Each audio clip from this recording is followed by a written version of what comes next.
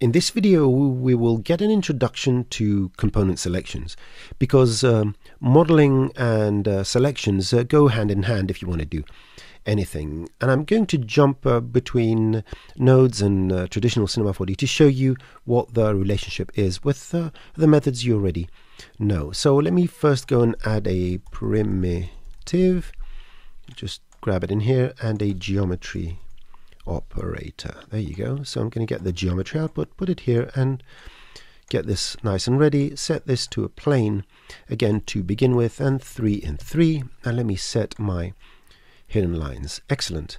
First of all, at this moment, we have uh, no capability of uh, live selecting anything in the viewport. There is a feedback, uh, but that uh, sort of works. But you will see how it goes. But we can't do anything here. We have to do everything with numbers, like painting by numbers and all that. That's the fun part of it. So let's begin by adding an inset so we can see how the whole selection thing works. I'm going to drop it in between. And now we have all these insetting by 20 or even 42%. Now, if you want to go and uh, create selections, you need to understand that there are some differences between the types of selections in the sense not what selections are, but how they are used. So first of all, selections need to be arrays, index arrays, arrays of integers. So the easiest way to create one is to create an array from string. I'll show you how to uh, use other methods as well. So index array from string, and uh, you connect this array to the selection. And you can see now it's empty, so nothing really happens. If I go in the indices and type, for example, uh, 0 and just click outside, you will see that polygon 0 now, because the inset only works on polygons, polygon 0 is the one that's been identified, and we are just going and setting the selection. So the inset is being applied to only that selection. Now let's go and create another inset. So I'm going to just copy and paste this and add it to the stream. And now you will see that every single polygon, including the new polygons, so if I go here and change this, you will see that everything gets inset again.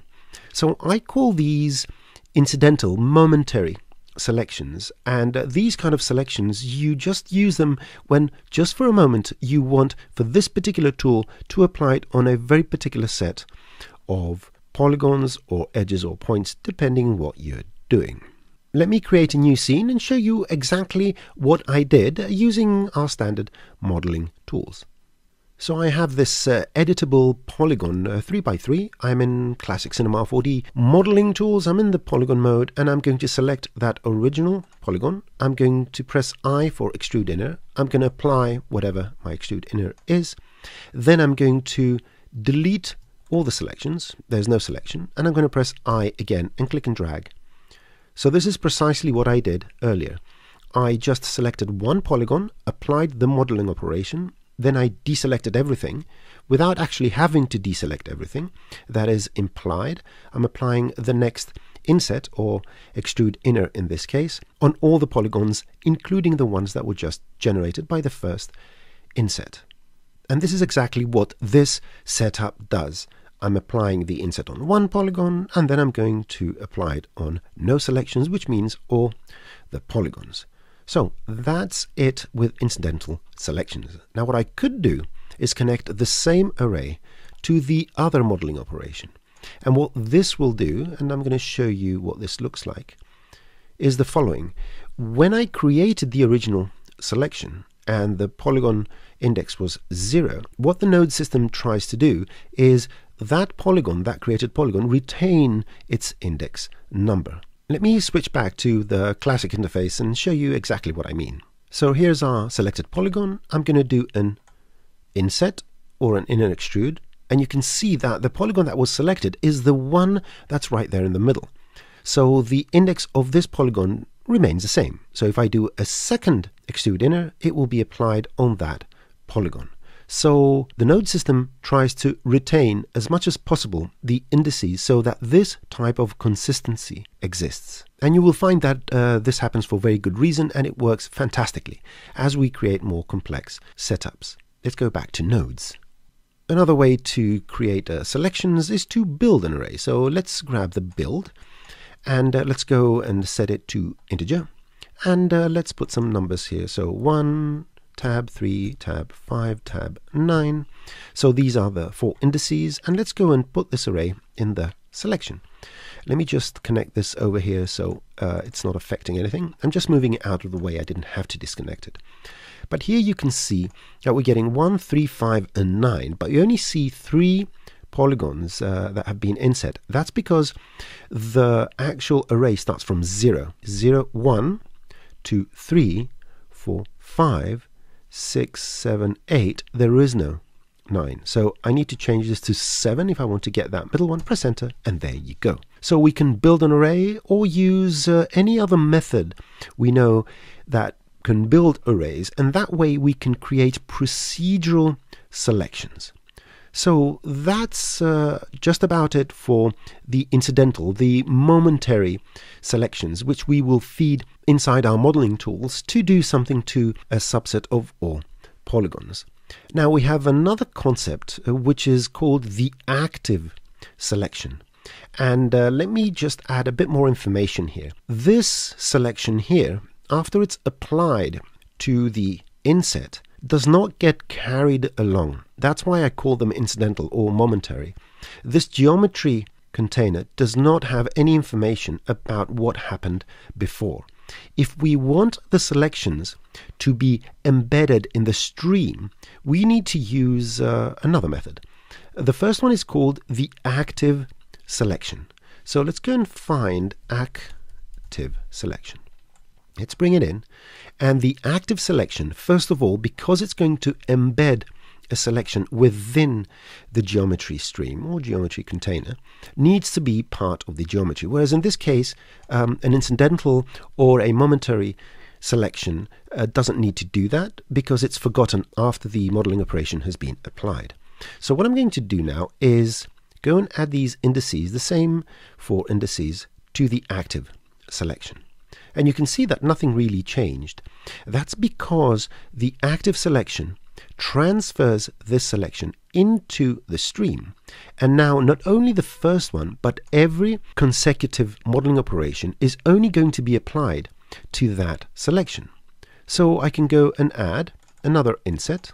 Let me go and do that here. And you can see that the inset has been applied to those four polygons.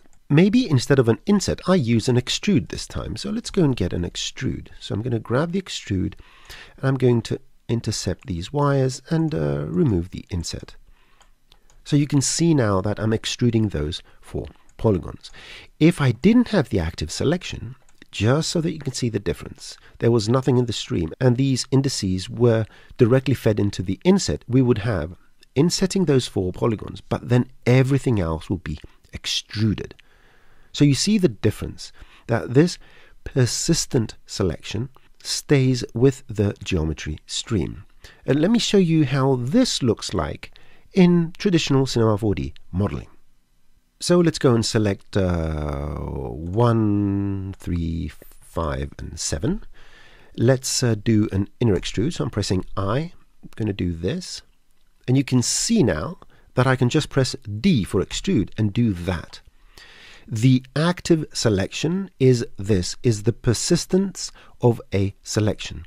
So using the active selection workflow is very similar to the type of modeling you've been doing in the past just by using Cinema 4D's modeling tools. Let's go back to the nodes now. Another type of selection is uh, called a range. So range, the selection range has a very slight difference. So let me just uh, disconnect everything. I'm just going to remove everything from here, everything down here. So we have a very simplified layout. I'm doing this so you can try and ignore all these. Just ignore them. Ignore them. So the selection range. This seems to be quite funny because we are not going to embed it in the stream. You can see that it has a geometry input but does not have a geometry output. That's because all the selection range needs is to know the information of the geometry at this current point. What it exports is not a selection that's going to be embedded in the stream. That's the job of the active selection and a couple of other nodes we're going to see. But it does need to know how many and what type of components we have so that it can do a select all. How can I select all if I don't know what these things are and how many there are? So basically, the selection range needs the information of the current geometry, and upon that, I can actually export all. So everything now is going to be inset, and there's no much difference than uh, insetting nothing. It does the same thing. Or I can say, actually, polygons, that was my mistake. It didn't make a difference in this case.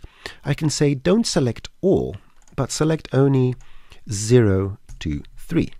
So now it's going to go 0, 1, 2, 3, or 0, 1, 2, 3 uh, to be accurate. And again, I can continue and inset everything because again it hasn't been embedded. Everything gets the inset all the polygons the newly created ones the old ones and so forth. Or I can even go and feed this here. So now it will only inset the ones that were selected over here. So the selection range needs a geometry input so that it knows what is available to create the select all and all that but does not export does not embed anything so what I could do is say the following thing. Let me disconnect this and this. If I want to embed this particular selection within the geometry stream, I will then append a geometry after this. I will tell the active selection to take these indices. I will feed now the geometry back in here. So now the geometry stream includes this selection range. And now any number of modeling tools I apply after the active selection is only going to be applied to that selection. So let me go back here, geometry, extrude, and so forth. To talk about the last bit of uh, selections, I need to go back to uh, classic Cinema 4D modeling. So let's assume I want to save the selection. We all know what to do in these cases. We go to the select and we say set selection we add a name and call it selection, press enter. And from this point onwards, this named selection can be used any way we want. And of course, I can go and select uh, another bunch of uh, polygons. I can deselect this and create another one. So select set selection. I'm going to call this another one and press enter. So we have this one and we can recall it by double clicking and we have this one and again I can double click and you know that we can use these in different contexts. Let me show you how to do this within the nodal modeling workflow.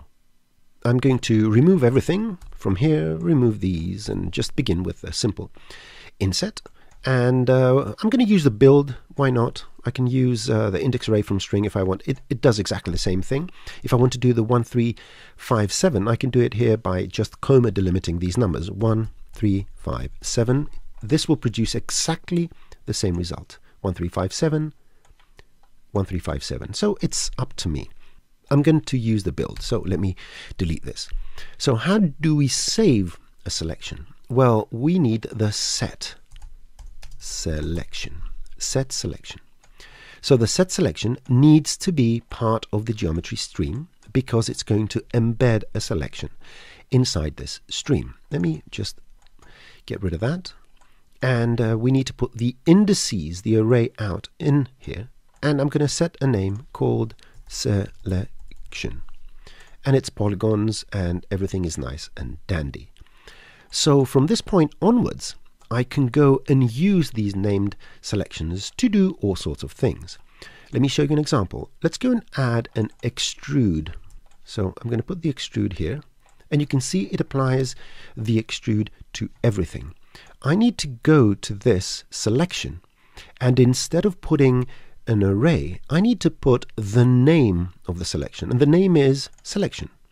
How do I do that? Well, I'm going to use a get selection. So get and go and find get selection. I'm going to drag it in here and I'm going to say it's a polygon.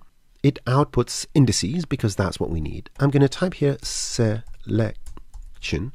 So it needs to be the same name. And now this selection needs to read from the geometry stream So you can find that set selection, that saved selection, and now I can feed it in here. And you will see that the extrude is going to take place on the 1, 3, 5, and 7, or 1, 3, 5, and 7, or whatnot. And this selection persists. It doesn't matter how far you go in your modeling process. Uh, we can have a hundred different modeling operations from the setting to the getting, and it will still identify that. So for now, use it uh, with uh, caution. Just don't forget what you've set and what you're getting and all that. Now, this get selection can be used to define an active selection. So, just like any other selection, I may choose to say active. So after I've done my first modeling operations, then I want to have a persistent selection. So let's put this in the geometry stream. Let's take this selection and put it in here. And now this is the active selection. And you can see I didn't have to feed it in here because now being active, that's the selection upon all the modeling tools are going to be applied. So now I can go and do another inset. So let's go and do an inset and grab it and put it here. And you will see that when I fix my numbers, only these polygons are going to be affected. So this is the, the overall methodology by which we use uh, selections, how we can create the active selection, how we can create um, incidental momentary selections, and how to uh, write and read selections from the geometry stream. Moving forward, I'm actually going to apply a combination of modeling operations and selections uh, to create a somewhat of a useful asset. And uh, I'm leaning towards some sort of procedural cityscape.